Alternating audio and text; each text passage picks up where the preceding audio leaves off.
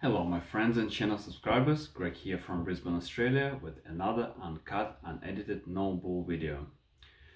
Today I will be talking about magnesium, uh, one of the electrolytes and uh, one of the most misunderstood electrolytes, not in a sense of what people misunderstand, in a sense why magnesium is not magnesium that we all think about and I'll try to help people to debunk myths and uh, what magnesium to consume and when. Hopefully it will help you not only with exercise regime but also with um, just normal regular life. Let's talk about um, electrolytes uh, first of all and um, before I start talking about electrolytes I would like to remind you that I'm not endorsing any supplements. Uh, I do believe most of the um, nutrition can be achieved with a proper uh, food intake or what people call dieting. I wouldn't call diet, I call it lifestyle. And um, I don't recommend taking any supplements unless you really need to supplement and supplement that means you cannot get enough from your normal diet. Uh, one of the example would be why I would take electrolytes. It's either uh, most um, demanding workouts where I sweat a lot or uh, my normal post-workout routine when I go to sauna and I sweat a lot in the sauna. I try to sit there between 20 to 30 minutes um, uh, in more than 90 degrees Celsius uh, temperature, which is uh, quite hard. And uh, during that time, I probably lose around two liters of um, liquid. Most of the liquid would come out as um, electrolyte because kidneys will uh, excrete sodium, potassium, magnesium first. Uh, but also if you are in a ketogenic diet or if you consume a lot of sugars or if you move in a lot, um, electrolyte it's most demanding component of your diet that you would need to support your muscle. Lack of electrolyte would result first in fatigue uh, second one, you may feel body twitching. It would be either a little bit of arm or under eye or cheek. It's not that you're stressed. It's that, that you are missing either potassium or magnesium in the body. There are two other electrolytes, which is sodium and calcium. And I won't touch them today because uh, we're consuming enough sodium in a diet although it's not probably most optimal sodium, but it's enough sodium in a diet, unless you um, exercise and sweating a lot. And calcium is a funny one. I don't recommend consume calcium as a supplement, but if you consume calcium, make sure that it does not stay in your blood. You need to draw it to bones, and I won't talk about this um, in this video, um, probably subject for next time.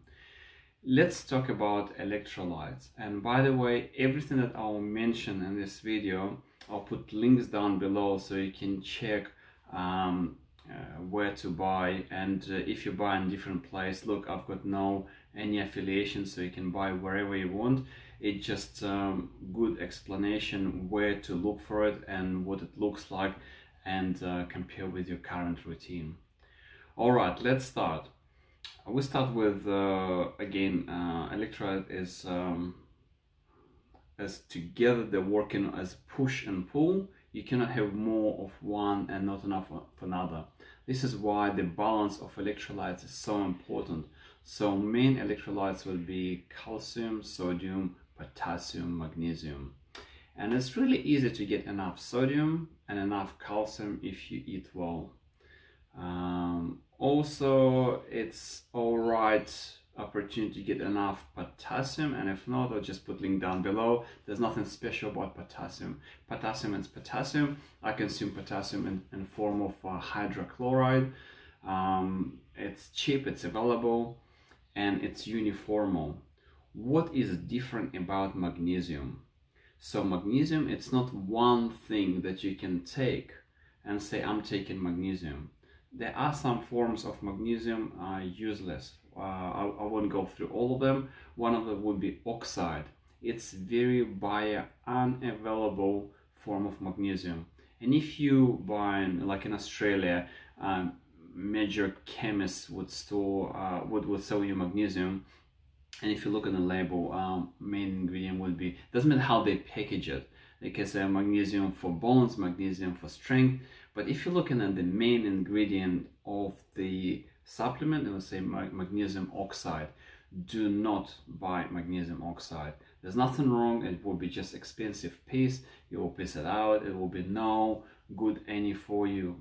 Magnesium oxide it's the cheapest form of magnesium and most bio unavailable it means your body will take it and won't be able to absorb it it's not what you want. You want your magnesium to be active to be absorbable and to serve you for what you need to do. Let's start with what you need to do. Uh, first one magnesium is good for muscle strength but not every magnesium. Uh, the most beneficial magnesium for muscle strength and recovery as well. When I say recovery, it's like you exercising hard and you feel other gentle fatigue or muscle soreness, or you need to support your muscles before you're going into exercise. And that uh, magnesium will be magnesium malate.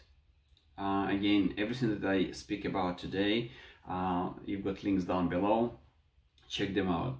Magnesium malate, look, I'm not a doctor, follow the labels uh, that on a bottle, but I personally take between um, 1500 to 2000 milligrams of magnesium malate in, in capsules that I take, it's around three capsules, and it supports me quite well through my exercise regime. So that's magnesium malate to support your muscles. Uh, that magnesium will activate muscles, that uh, magnesium will support muscles. The other magnesium um, that will help you to go to sleep. It creates opposite function in your body. It's a magnesium that can go through blood, uh, brain-blood barrier. It's really hard to penetrate. Not many substances can do this. Our brain is well protected. And uh, there are two types of magnesium do it well. One is uh, magnesium glycinate and also magnesium L-threonate. I found uh, they work both um, kind of same with me, but magnesium glycinate um, a little bit cheaper and um, works quite well. So around an hour or half an hour before going to sleep, uh, take a couple of uh, capsules of magnesium glycinate or L-threonate, whatever your choice, and you find out that it's much easier to fall asleep. It won't maintain your sleep. So for example, if you're waking up in the middle of the night and cannot fall back to sleep, I would resort to different techniques to go back to sleep, like uh, meditation, uh, maybe a bit of yoga nidra, you know, it's, it's up to you. But um, to fall asleep, magnesium glycinate or L-threonate, again, I put links down below. And another magnesium that I would like to talk about is actually while it's electrolyte, it does uh, still serve different purpose. So for example, you've got problem with your bowel movements and uh, you've got difficulty uh, to do number two. So um, to help you with that, there's a magnesium citrate. And as you can see, magnesium is not magnesium. You need to take magnesium for function of your body. So if you're going to sleep, it's one type of magnesium, which is L, uh, uh, L, um, L-threonate or uh, glycinate. If you need um, help with uh, your poop, is magnesium citrate. If you need help with uh, muscle soreness or muscle uh, function, it's magnesium malate. And if you'd like just to waste your money, it would be magnesium oxide. There are other types of magnesiums. I don't want to go through all of them. I really um, thought to create this video to to help people because when I was sitting in the sauna, someone was talking to me. They spent a lot of money in a local chemist buying magnesium oxide, and they didn't feel any difference. And that conversation trigger triggered this video that I created for you today. I hope that you found this video helpful and if you'd like any more videos on this subject or subject of nutrition, exercise or anything like that, please let me know in the comments down below. Thank you so much for watching. Greg from Brisbane, Australia.